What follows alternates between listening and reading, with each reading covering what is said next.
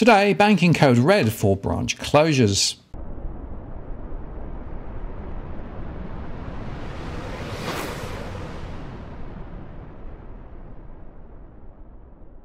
Hello again, it's Martin North from Digital Finance Analytics for Latest Post, covering finance and problem news with a distinctively Australian flavour.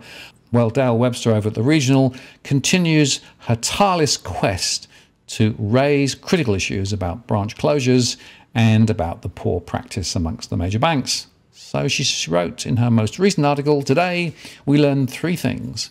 The banking code of practice isn't worth the paper it's written on, the format for emailing Westpac executives directly, and the Anna Bligh's Australian Banking Association will only engage with journalists who give them an easy run. Despite being reported across Australia last week as agreeing to a parliamentary request to pause all bank closures while an inquiry examines, among other things, the welfare impacts of removing banks from communities, Westpac closed the branches at Hay, Moree, Katherine, and Carnamah today. The closure at Carnamah in Western Australia went ahead despite the entire Westpac executive, including head of legal Shannon Finch, being in possession of information at the post office where customers were being directed to for basic transactions as an alternative to branch service does not have a disability ramp and is therefore inaccessible to certain members of the community. The lack of disability access at the post office is no small issue, and the pausing of a branch closure due to this is not without precedent, with the closure of the Commonwealth Bank in Junee initially postponed from December to March for this reason. The Westpac executive were also sent the submission made by the chairman of the Banking Code Compliance Committee, Ian Govey, to the Regional Banking Task Force that raised concerns about compliance issues relating to Part 4 of the Code, which covers inclusion, accessibility, and vulnerability. Mr. Govey also highlighted that post offices providing bank at post services should also be meeting the standards set out in the code. This wasn't the first time Westpac had been informed of the breach.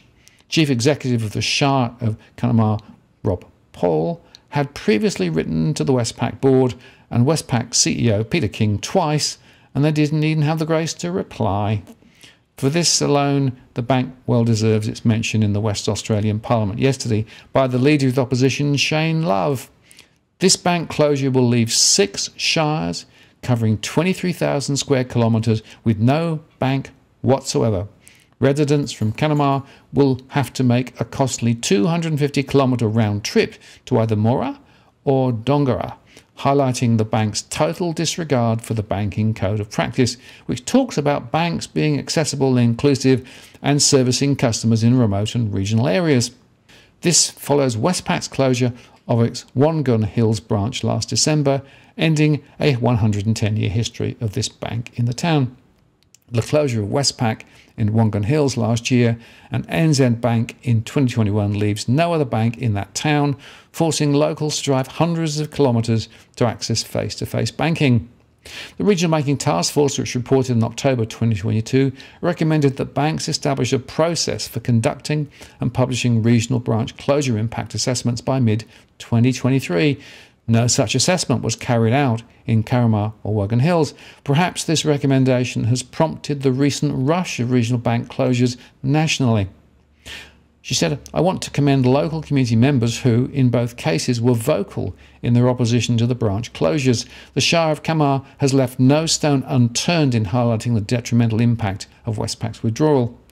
The Australian Bank Association says customers remain at the centre of all that banks do and knowing that Westpac did not engage or consult with the Carnamah community over the closure of the branch, I beg to differ. It's pretty damning stuff, which brings us on to the question how on earth are they getting away with it? Enter the Australian Banking Association, or ABA. The ABA is adamant that the Banking Code of Practice is legally enforceable. This morning, ABA Media was sent details of the Carnamah issue and two questions from the regional with a close of business deadline. Could you please set out the pathway by which the code can be enforced? Does the ABA, if in possession of knowledge that the code is to be breached, have an actual or moral role in preventing that breach from occurring? Guess what? No response was provided. It's not the first time the ABA still hasn't responded to questions on the Senate request for a bank closure moratorium. Dale wrote, I challenge the ABA to come out from the rock it's hiding under and explain how a little council like the Shire of Carnamah, perfectly within its right to challenge Westpac on a breach of Part 4 of the Code, can have the matter heard by an independent arbitrator, which is what most fair minded people would interpret as being legally enforceable. Even if there is a pathway of sorts, the Code and Bank terms and conditions that incorporate it are contracts that have been written to the benefit of only one signatory. They are so difficult to challenge, it is beyond the financial reach of mostly all who have a case for justice against the banks. The whole code, including the branch closure protocol, needs throwing out and starting again. That's another job for the senators. And remember, submissions close March 31 for the regional banking inquiry. We'll put the links below. And by the way, Dale, in her article, also showed the standard format for Westpac email addresses if you want to write to the CEO, for example. I'm Martin North from Digital Finance Analytics. Many thanks for watching, and I'll see you again next time.